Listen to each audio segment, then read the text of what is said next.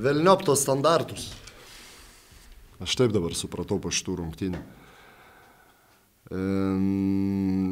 Galbūt, sakykime, iš tikrųjų visiškai kvailai praradom iniciatyvą. Liktai kontroliavom, galima sakyti, panevežį, čia pirmavom lygų 24-24.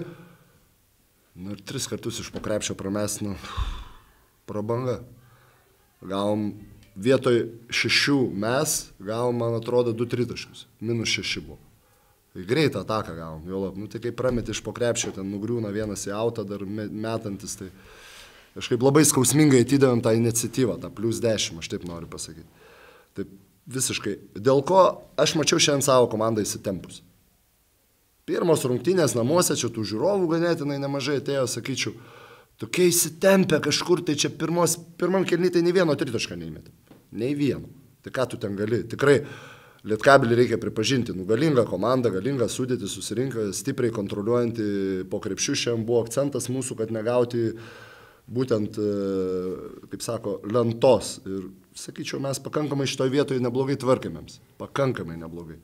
Bet, nu, ta tokia įtampa padarė savo, laisvą tritaškį metam nėra, iš po krepšio nėra.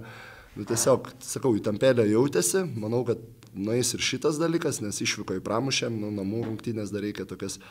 Paskui antroje pusėje nebuvo, nebuvo, sakykime, negaliu pasakyti, mes ten atsigavom labai gerai ir visą kitą padėjo visiškai, kaip sakau, velniop tą standartą, dėl ko pasakiau, kad e, Šulskį išleidau penktų numerį. Nu, tai kažką reikėjo daryti, nes mūsų šiandien tipiniai centrai tai buvo kažkur, nežinau, kur, kur ten jie buvo, kur jų ten galvo, sakau, ta įtampa.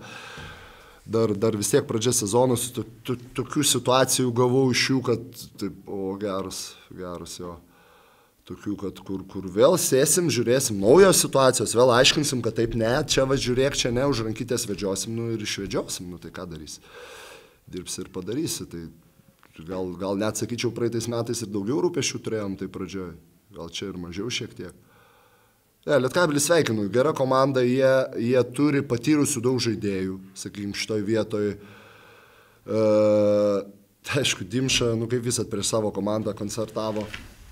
Uh, netikėjom, kad tai bus, bet, nu, sveikinimai Tomai, šaunuolis. Nužudė saviškius, buvusius. Koks, kokie čia mes saviškiai dabar, priešai.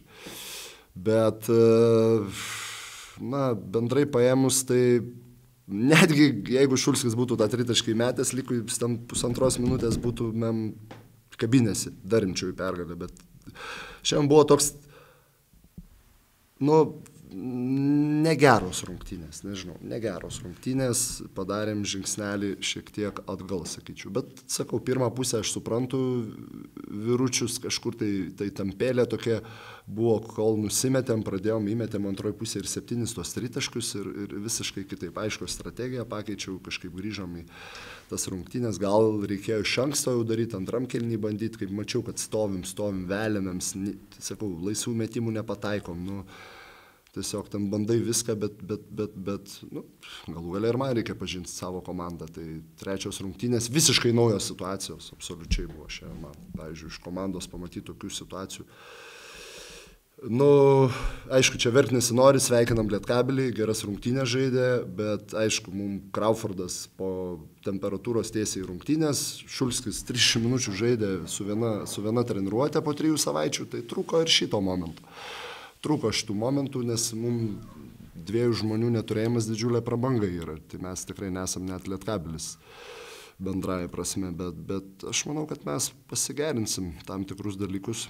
Atsidavimų vyrams neturiu priekaištų, stengiasi, dirbo gynyboje tikrai, bet nu, dar procesas ilgas. Minėjot, kad Šulskis grįžo, kaip vertinat jo debutą šį sezoną? Aš vertinu šiandien, kad labai gerai, nes aš šiandien neturėjau žygimanto skučio pirmose dviejose keliniuose. Ten minus šeši taškais, bam, kažkur ten susistumdo su Šakyčium. Šakyčius labai protingas kruatas, kaip sako. Aš žinau jį gerai. Jisai moka išprovokuoti ir bum, nuėjo dvi baudytės susimetė. Jau aštuoni taškai. Kitoj pusėje kažkur ten paskubėjom. Gavom greitą ataką. Va tau ir dešimt taškų. Tai Šulskis tikrai labai, sakykime, tokiuose rungtynėse, aš manau, kad jisai mums padėjo, nes, nu, kaip, kaip minėjau, nebuvo, žygio nebuvo, pirmose dviejose kelniuose, paskui jisai truputį atsigavo, jau atėjo ir padėjo.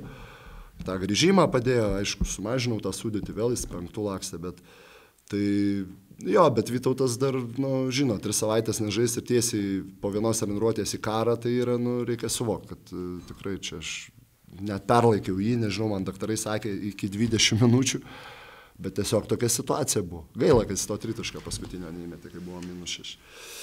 Bet, nu, neturėjom priekaištų jokių. Trečias rungtynės verčiatės devyniais žaidėjais, gal galvojat apie papildymo komandos ar versitės tais pačiais žmonėmis, kuriuos turit? Na, nu, nežinau, kol kas apie tai tikrai nemastau. Praeitais metais ne vieno žmogaus nepakeičiau. Sakau, noriu užsiauginti šituos, uh, nori auginti šituos žaidėjus ir matyti galbūt kažkam sunkiai sekasi aukti, nebent. Bet dar tikrai po trijų rungtynių čia daryti labai tokias kardinales išvadas dar, dar neskubėčiau. Reikia luktert tikrai dar keletos ne vienų rungtynių ir matyti šią Arną galbūt, bet nebuvo ta blogai, jau labai bloga gynyba, mes šiandien neužpuolėme, sakykime, nusakau, akivaizdžiai, keletos laisvų metimų iš pokrepšio, ten nu, sakau, į tampėlę slėgę. Paskui atidavus minus 10 lietkabelių, tai yra, nu, tai tu netiduodi tokios persvaros kažkam kitam.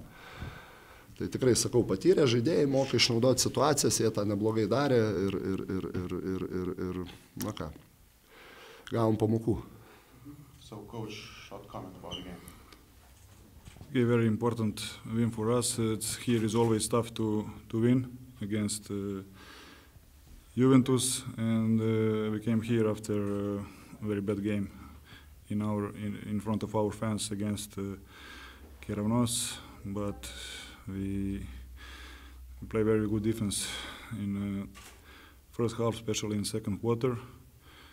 And uh, what I don't like uh, today, we like we won the game three times, but we always let Juventus to come back and uh, and to we let we let them to have active active result, but at the end, uh, very important win for us, and I don't think I don't think that too many teams will win here. Treneris minėjo, kad labai svarbi yra ši Lietkabelio pergalė būtent po prastesnių rungtynių savo žiūrovo akivaizdoje FIBA čempionų lygoje.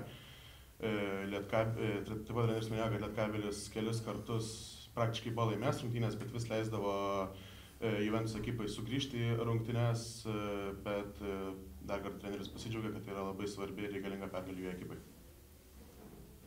Coach, uh, what's happened at, at the end of the game uh, when Juventus uh, come back to the game? Yeah, like I said, uh, we we miss we miss our chances to, to finish the game. Uh, Juventus raise their, their aggressivity. They play with five five guards. We did some. Uh, we, we took some very bad decision in in, in offense, and uh, it was like it was like this. Not not the first, not the last time. Juventus has quality, and they, they didn't give up all, all, all the game. Buvo keli prastesni sprendimai, ypatingai polime. Ir to pasakoje Juventus sugebėjo sugrįžti rungtynės.